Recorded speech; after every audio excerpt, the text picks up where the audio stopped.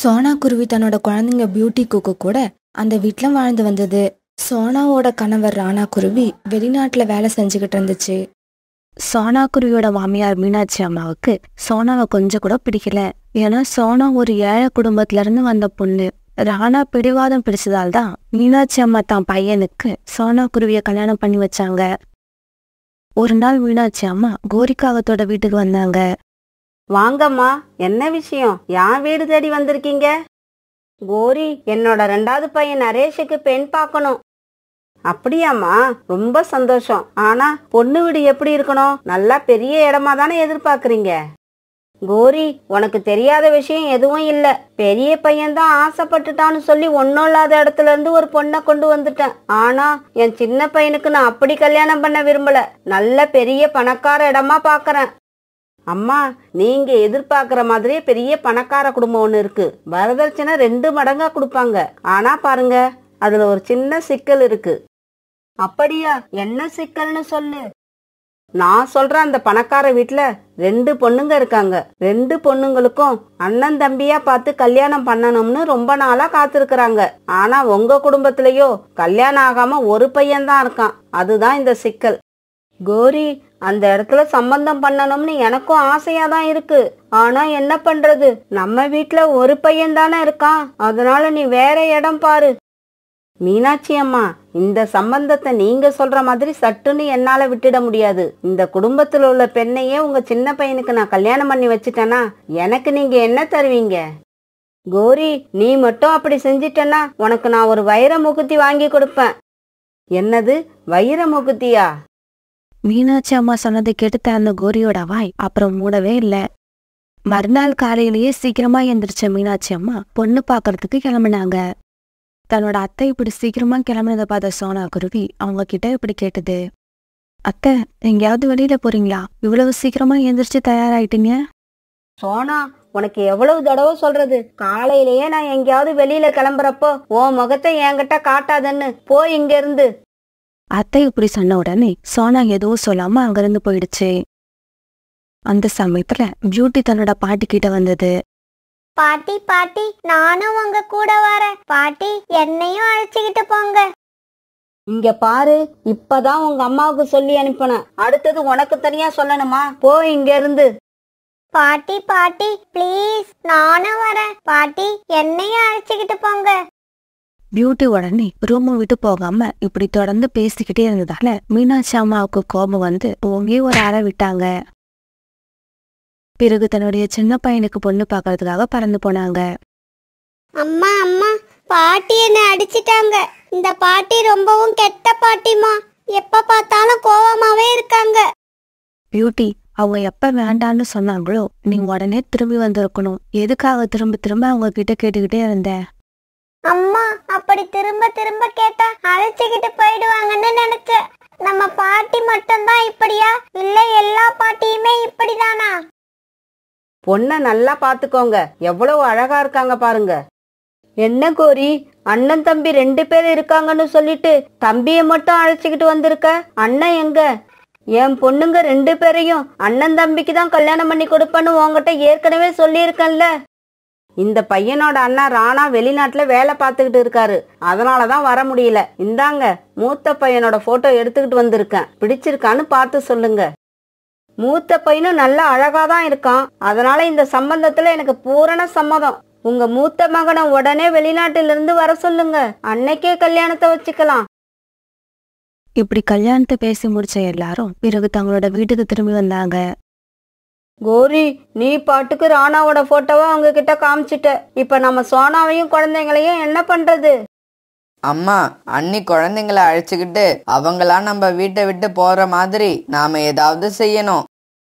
இங்க பாருங்க சோனா அதுவா வீட்டை விட்டு போகவே போகாது. நீங்களாதான் அவங்கள வீட்டை விட்டு விரட்டி ஆகணும். நான் சொல்றபடி செய்யுங்க. எல்லாம் நல்லபடியா நடக்கும்.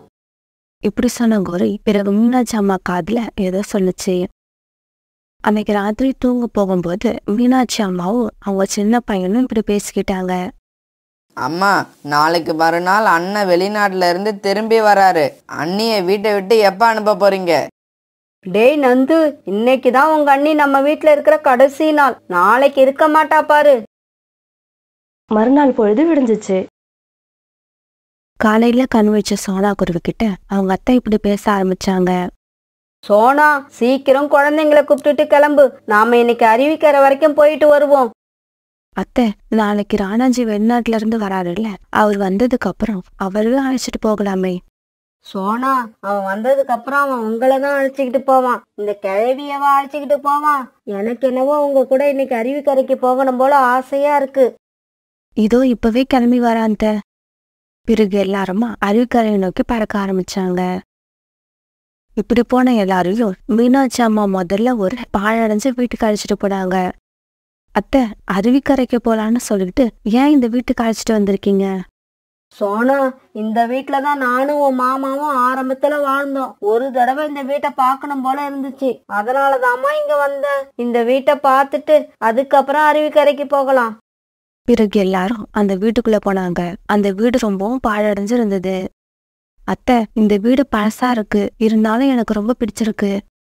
இந்த வீடு உனக்கு ரொம்ப பிடிச்சிருக்கா?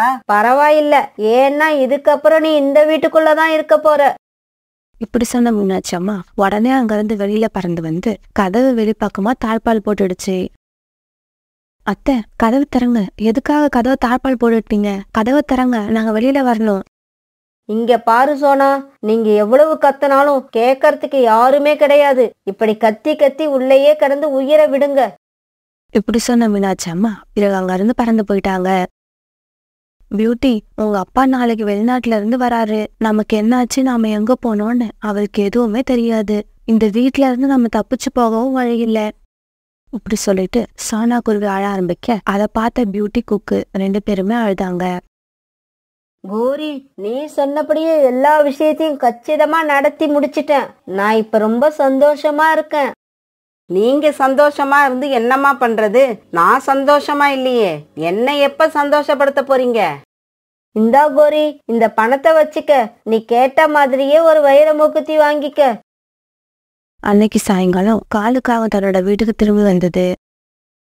காலுஜி இங்க பாத்தீங்களா? நான் உழைச்சி சம்பாதிச்ச பணம். இந்தாங்க இந்த பணத்தை எடுத்துக்கிட்டு போய் எனக்கு ஒரு வைர மூக்குத்தி வாங்கிட்டு வாங்க. இங்க பாரு கோரி இவ்வளவு நேரம் வேலை செஞ்சு களைச்சி போய் வந்திருக்கேன். இந்த பணத்தை வச்சுக்க மூக்குத்திய நாளைக்கு வாங்கிக்கலாம். காலுஜி நாளைக்கு மீனாட்சி அம்மா வீட்டு கல்யாணத்துல நான் வைர மூக்குத்தியோட தான் நிக்கணும். அப்பதான் எனக்கு ஒரு கெத்தா இருக்கும். பிறகு வேற வழி இல்லாத காலுக்காகவும் அந்த பணத்தை எடுத்துக்கிட்டு வைர மூக்குத்தி வாங்கறதுக்காக பக்கத்து காட்டை நோக்கி பறந்து போச்சு. இப்படி போன காலுக்காகவும் வைர மூக்குத்திய வாங்கிட்டு திரும்பும்போது வழியில ராணா குருவிய பார்த்தது. என்ன ராணா வெளிநாட்டுல இருந்து நீ எப்ப வந்த? நாளைக்கு என்னோட தம்பிக்கு கல்யாணமா? அம்மா தகவல் சொல்லி அனுப்பியிருந்தாங்க. அதனால தான் அவசரமா வந்தேன். இப்படி பேசிக்கிட்டு இவங்க ரெண்டு பேரும் பிறகு தங்களோட காட்டை நோக்கி பறக்க ஆரம்பிச்சாங்க. இவங்க வர வழியில தான் சோனா குருவிய மீனாட்சி அம்மா அடைச்சு வச்ச பாழடைஞ்ச வீடு வந்தது. காலு ஏன் இங்கேயே உக்காந்துட்டீங்க? வாங்க நம்ம வீட்டுக்கு போவோம். ராணா இந்த வீட்டுக்குள்ள இருந்து யாரோ கத்துற மாதிரி சத்தம் கேக்குது. அப்படியா? இந்த பழைய வீட்ல யாரும் இருக்கிறதுக்கு சான்ஸ் இல்ல. நேரத்தை வீணாக்காம வாங்க. சீக்கிரமா வீட்டுக்கு போகலாம். காப்பாத்துங்க. எங்களை யாராவது காப்பாத்துங்க. காப்பாத்துங்க. காலு நீங்க சொன்னது உண்மைதான். யாரோ உள்ள இருந்து கத்துறாங்க. பிறகு காலுக்காகவும் ராணா குருவியும் கதவை திறந்துக்கிட்டு உள்ள போனாங்க. ராணாவை பார்த்த உடனே பியூட்டியும் குக்குவும் அழுதுகிட்டே ஓடி வந்து ராணா மேல ஏறிக்கிட்டாங்க. பிறகு சோனா குருவி நடந்தது எல்லாத்தையும் கண்ணீர் சிந்திக்கிட்டே சொல்லுச்சு. சோனா அழாத. என்கிட்ட எல்லாத்தையும் சொல்லிட்டல்ல. இதுக்கப்புறம் நான் பாத்துக்கறேன். என் கூட வீட்டுக்கு கிளம்பு. பிறகு ராணா குருவி சோனா குருவி காலுக்காகும் எல்லாரும் மீனாட்சி அம்மாவோட வீட்டுக்கு வந்தாங்க. சோனா நான் முன்னால போறேன். நீ பின்னால வா. அம்மா மனசுல என்ன இருக்குன்னு அப்பதான் நான் தெரிஞ்சுக்க முடியும்.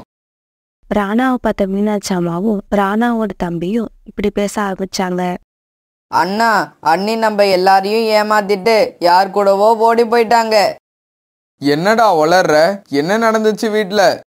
டேய் ராணா நான் சொல்றேன் கேளு. நீ வெளிநாடு போனதுல இருந்து ஓ மனைவி வீடு தங்கறதே இல்ல. ஊர் சுத்திக்கிட்டே இருந்தா. அத நான் கண்டிச்சேன். அதனால இந்த வீட்டை விட்டு எங்கேயோ ஓடி போயிட்டா. போனவ அவ மட்டும் போயிருந்தா பரவாயில்ல என்னோட பேர குழந்தைங்களையும் கூட்டிக்கிட்டு போயிட்டா. அதுதான் என்னால தாங்க முடியல. சரி சரி நடந்தது நடந்து போச்சு. அதனால தான் உனக்கு ரெண்டாவது கல்யாணத்துக்கு ஏற்பாடு பண்ணியிருக்கேன். சீக்கிரமா போய் குளிச்சிட்டு கல்யாணத்துக்கு தயாராகு. மீனாட்சி அம்மா இப்படி சொல்லிக்கிட்டே இருக்க சோனா குருவி தன் குழந்தைங்களோட அங்க வந்தது. சோனாவை பார்த்த மீனாட்சி அம்மாவும் நந்துவும் அதிர்ச்சியானாங்க. அம்மா உங்களை பத்தியும் என் தம்பிய பத்தியும் இன்னைக்கு நான் நல்லா தெரிஞ்சுக்கிட்டேன். உங்க ரெண்டு பேரையும் அம்மா தம்பின்னு சொல்லவே எனக்கு வெக்கமா இருக்கு இதுக்கப்புறம் நான் உங்க முகத்துல முழிக்கவே மாட்டேன். ராணா இந்த வைர மூக்குத்தியை நீயே வச்சுக்க. பாவப்பட்ட காசுல வந்த இந்த வைர மூக்குத்தி எங்களுக்கு தேவையில்லை. இப்படி சொன்ன காலுக்காகவும் அந்த வைர மூக்குத்திய ராணா கிட்டேயே கொடுத்துருச்சு. சோனா இப்பவே குழந்தைங்களை அழைச்சிக்கிட்டு கிளம்பு. நான் வேலை பார்க்குற இடத்துக்கு உங்களையும் அழைச்சிக்கிட்டு போயிடுறேன். இப்படி சொன்ன ராணா குருவி பிறகு சோனா குருவியையும் குழந்தைங்களையும் தான் வேலை பார்க்குற வெளிநாட்டுக்கு அழைச்சிட்டு போயிடுச்சு.